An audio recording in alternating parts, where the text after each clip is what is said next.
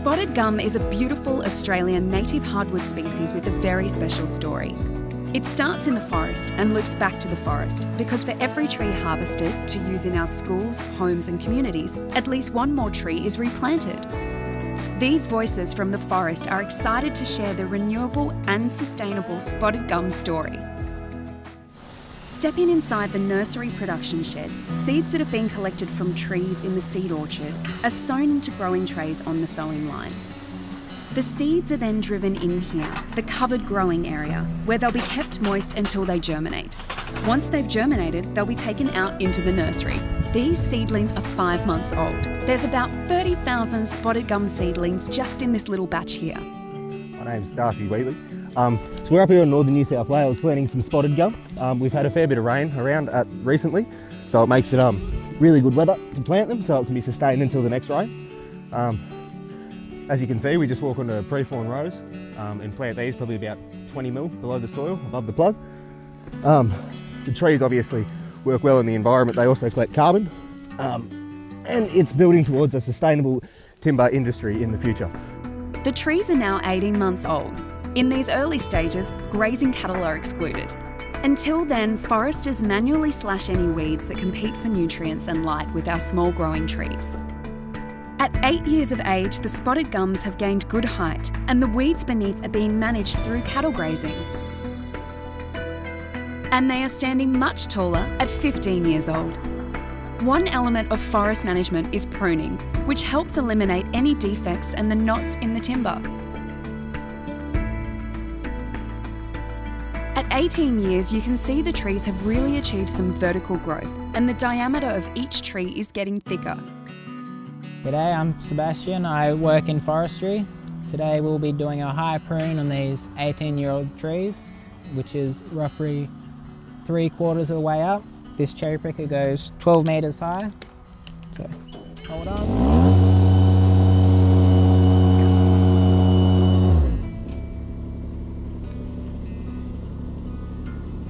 This is the chainsaw I'll be using today. It requires a chainsaw ticket.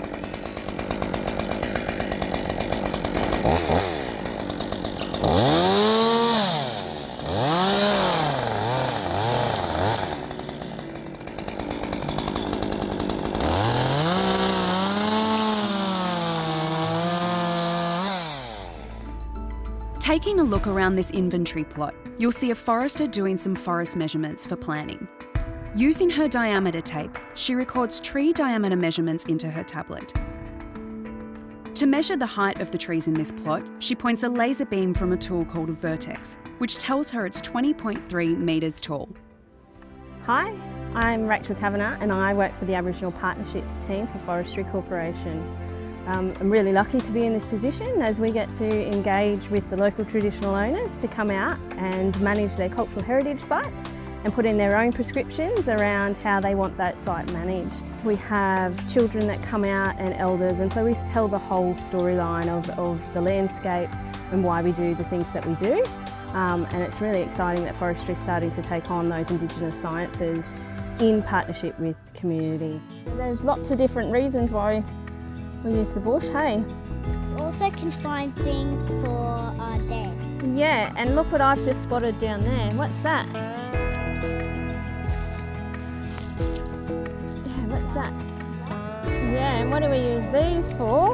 Um, our skirt. Yeah, and we put our feathers in them. I get to record some sites that are over 10,000 years old, um, anything from artefacts to you know, scar trees to um, large campsites um, and artwork in caves. So that's pretty amazing. One of the exciting things we get to do is pre and post harvesting um, survey work. G'day, my name's Al Green. I drive this uh, timber harvester. Today we're going to go and fall a few trees. Okay, jump up in the cab with me and we'll go. Modern harvesters are highly technical with scanners and computer systems. They're all hydraulically driven, and the grapples holding on the trunk can also help hold and guide the tree to fall in the best place to minimise damage to the surrounding bush.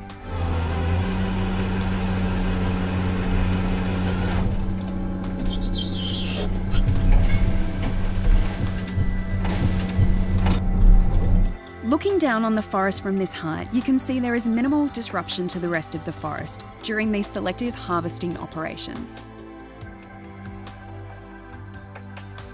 After careful sustainable forest planning, only selected trees are removed from the forest.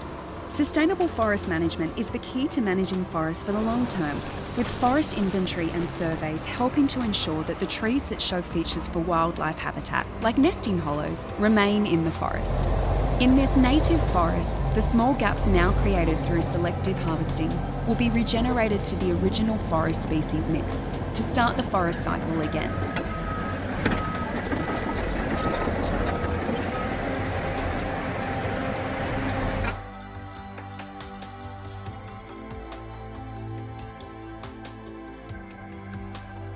The spotted gum story doesn't end when it leaves the forest, as it's just beginning its processing story. To be used and loved within our schools, buildings, and furniture. Out of everyday sight, thousands of new seedlings are being replanted, back in plantation forests or regenerated in native forests, for the spotted gum story to begin again for generations to come. Wood really is the ultimate renewable resource.